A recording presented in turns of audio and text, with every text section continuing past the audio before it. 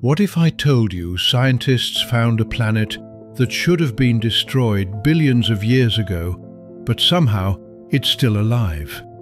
Meet TOI 1853b, the planet that shouldn't exist. It's about the size of Neptune, but here's the wild part. It's twice as dense as pure metal. Imagine a beach ball that weighs as much as a truck. That's how ridiculous this thing is.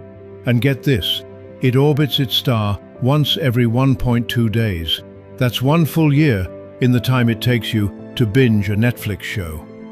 It's so close to its sun that temperatures hit 2000 degrees Celsius, hot enough to melt iron.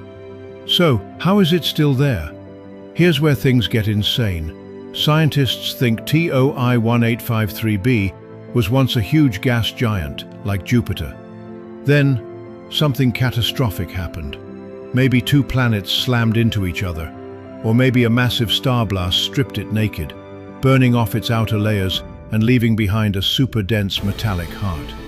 Basically, this planet was killed, but it didn't die. What's left is a planetary corpse, a survivor of cosmic destruction. A world forged in chaos, still orbiting like nothing happened. And the craziest part?